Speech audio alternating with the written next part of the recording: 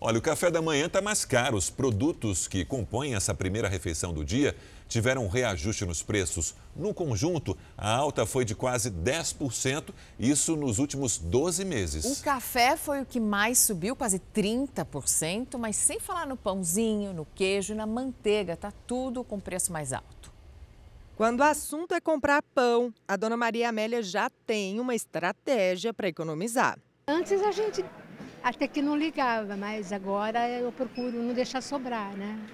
Para não haver perda. A Liliane tomou uma atitude mais radical. Ela passa longe do pão. O meu hábito em casa agora, eu estou usando os ovos no lugar do, do pão, para substituir um pouco, porque além, apesar de tudo ter subido, o ovo ainda dá para a gente comprar um pouquinho mais. E o café, hein?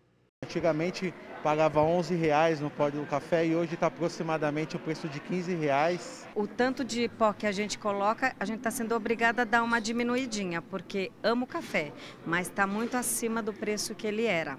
Esse cafezinho nosso de cada dia que todo brasileiro ama, mas a verdade é que ele nunca esteve tão amargo.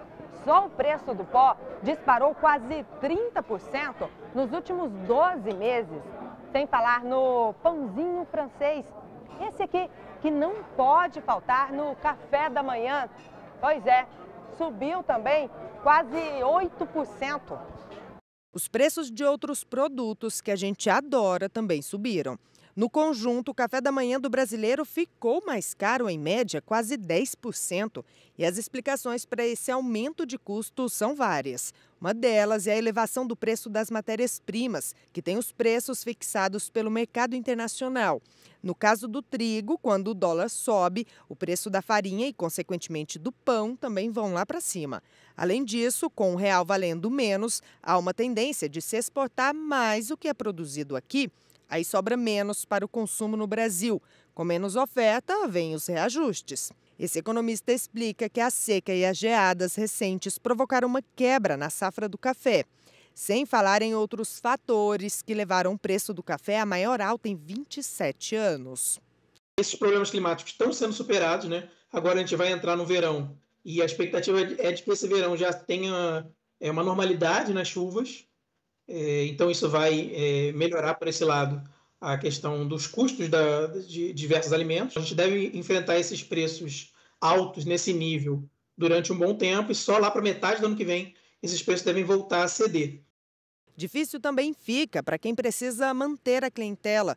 No caso da Cintia, ela tem uma lanchonete em Rio Claro, no interior de São Paulo, e por causa da inflação, teve que aumentar os preços do que tem para vender.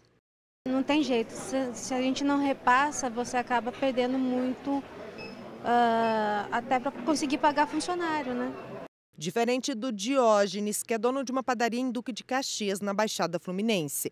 Mesmo não repassando todo o aumento para os clientes, ele percebeu que a clientela tem comprado menos. As pessoas estão consumindo um pouco menos. Eu acho que as pessoas que estão consumindo na, fora, na rua e sim, no estabelecimento não está como, não tá como antes, com, aqua, com, aquela, com aquele calor.